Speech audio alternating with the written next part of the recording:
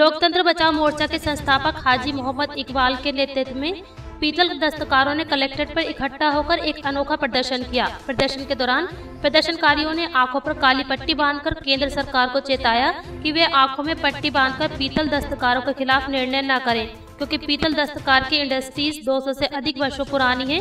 लोकतंत्र बचाओ मोर्चा ने एक ज्ञापन राष्ट्रपति को संबोधित, एक ज्ञापन जिलाधिकारी को सौंपा। ज्ञापन के माध्यम से लोकतंत्र बचाओ मोर्चा ने मांग की कि मुरादाबाद शहर 70 सालों से छोटे उद्योगों से जाना जाता है।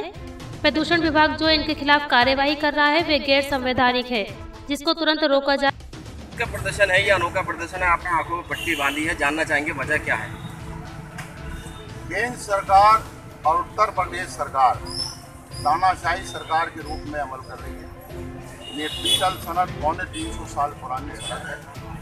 जो पैंतीस हज़ार करोड़ रुपया हिंदुस्तान के अंदर पहली सनत का शहर है, जो पैंतीस हज़ार करोड़ रुपया कमा कर देता है।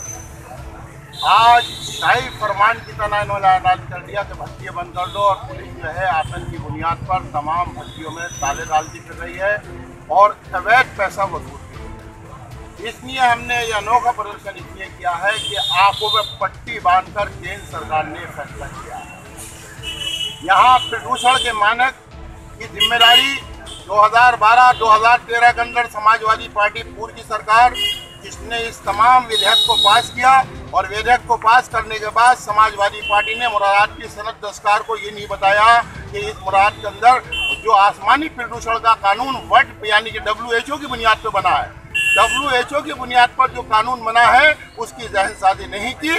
डब्ल्यू का आधार पर मुराद के संसद ने जाहिलाना बयान संसद के अंदर दिया, उस जाहिला बयान की मैं कठोर निंदा करता हूँ और समाजवादी पार्टी एक मुद्दा छोड़ के इस मुराद की शरत को तबाह करने का काम समाजवादी पार्टी करके चली गई। इसलिए हमने कहा कि विपक्ष ने भी आगे पट्टी बाँध रखी है और सत्ता ने भी आखिर पार्टी बन दी है। आखिरकार ये मुराद की सनद ही नहीं होगी तो 20 लाख मुसलमान यहाँ के लोग कहाँ जाएँगे? यहाँ का हर ताल्लुक जो है, अभी मेरे एक साथी ने कहा कि अगर इलाहाबाद की हाईकोर्ट उत्तर पश्चिम उत्तर प्रदेश में आ जाए तो यहाँ का जो इलाहाबाद का रोज़गार है, वो 40 परसेंट रह जाएगा। अगर सरकार इतनी बड़ी ईमानदार है तो अभी तक हाई कोर्ट की जो बेंच पच्चीस तो उत्तर प्रदेश को चाहिए, वो नहीं दे पाए। तो आज प्रदूषण के नाम पर जो तमाम पुलिस आतंक फैलाती फिर रही है, इसको हमने कहा है और जिलाधिकारी से हम मांग करते हैं कि आँखों पट्टी बांधकर फैसला न करें, फैसला संविधान के दायरे के अंदर करें। इसलिए आँखों पट्टी बांधकर एक अनोखा प्रदर्शन देश को हम देना चाहते हैं।